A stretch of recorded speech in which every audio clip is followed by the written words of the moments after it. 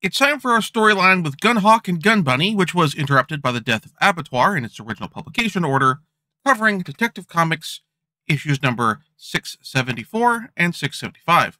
These issues were written by Chuck Dixon, with pencils by Graham Nolan, inks by Scott Hanna, colors by Adrienne Roy, lettering by John Costanza, and were edited by Darren Vincenzo and Scott Peterson.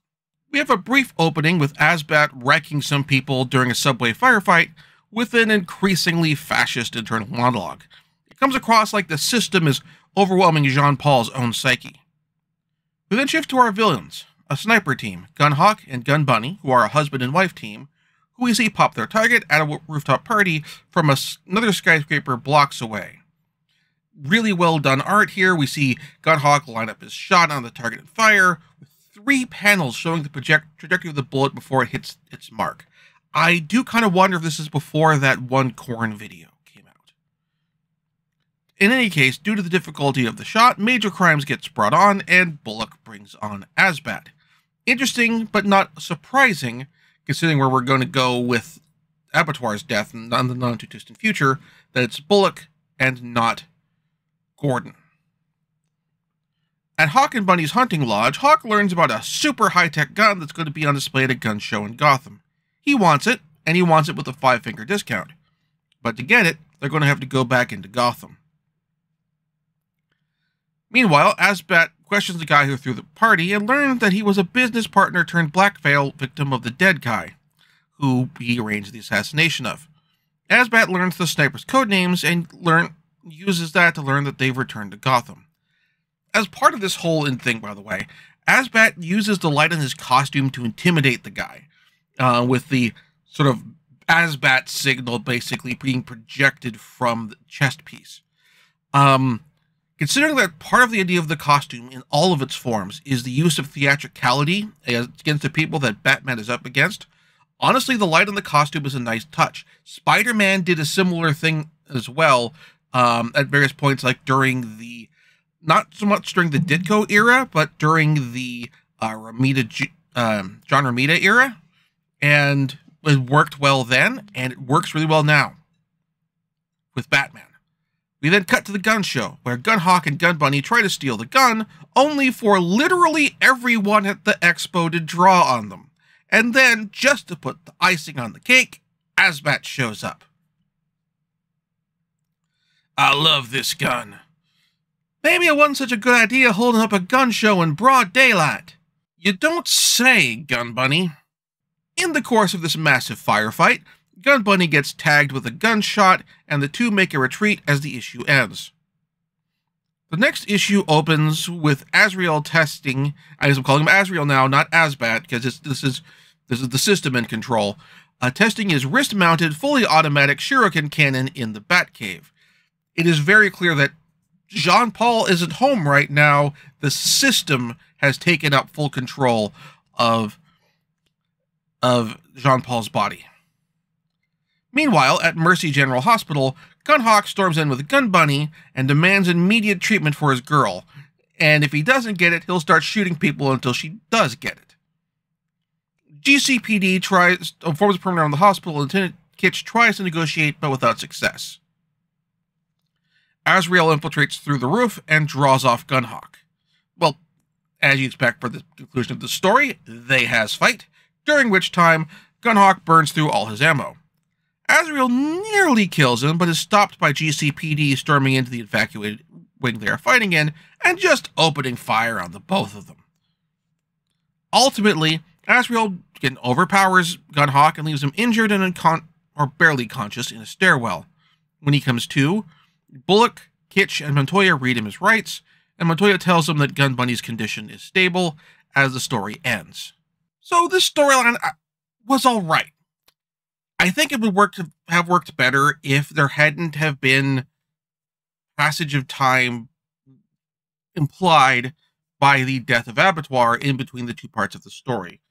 That is very much a publication order situation. Now, I don't know how well they could have coordinated this the time we're talking about early 90s ish.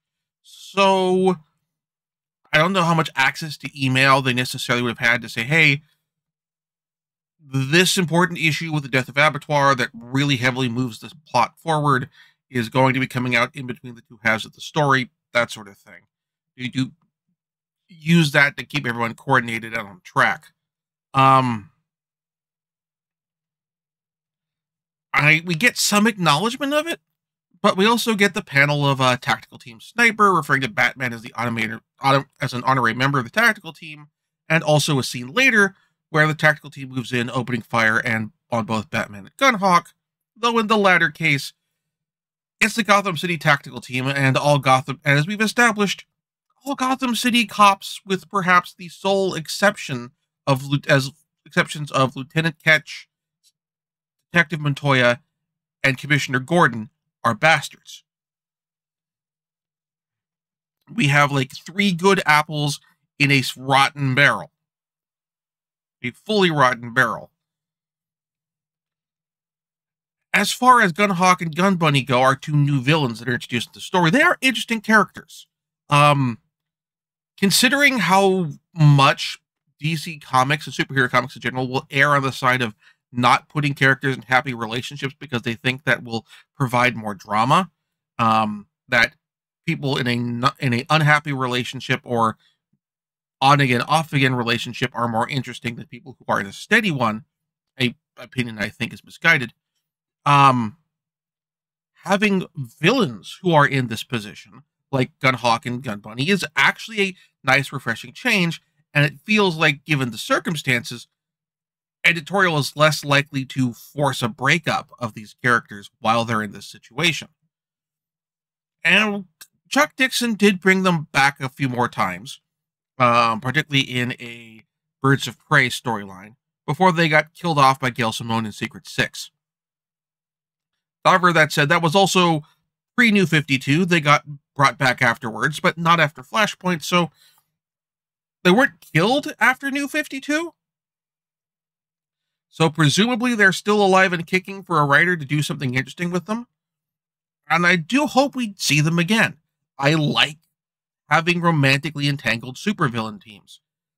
And if you're not going to let the heroes have a happy romantic life, let the villains do. Whether it's, or villains slash anti heroes, whether it's Harley and Ivy, or in this case, Gunhawk and Gun Bunny. Even if they're a couple kind of psychotic assassins, they have a potentially like just by nature of having a happy romantic relationship that gives them a, a interesting dynamic that you don't see often, and that's that's great.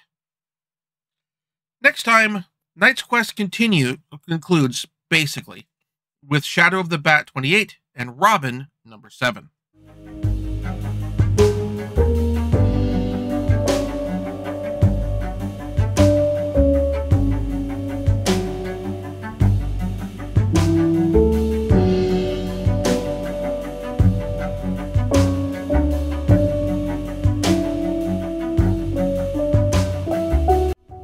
Thank you very much for watching. If you enjoyed the show, please like and subscribe. And also consider backing my Patreon. Patreon backers get episodes up to one week early of this show and any future Let's Plays. Also, please consider backing my Ko-fi. Uh, toss me a few bucks also helps support the show, and it's not a monthly obligation or anything like that.